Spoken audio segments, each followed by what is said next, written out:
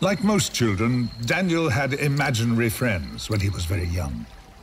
His favorite was a statue of a brave Roman soldier in the family garden.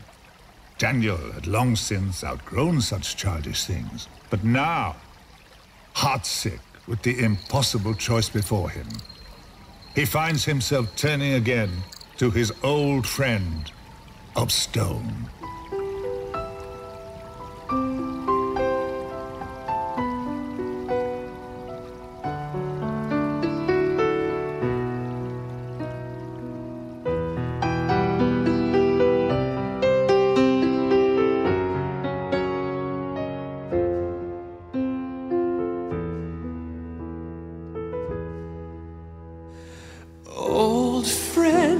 It's me again.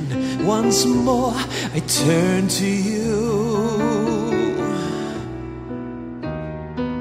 You were always there for me. You always pulled me through.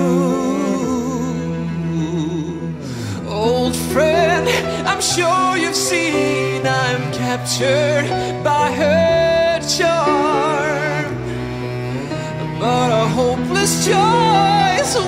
for me.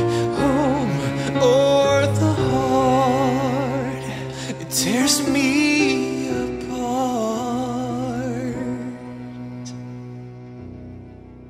what should I do?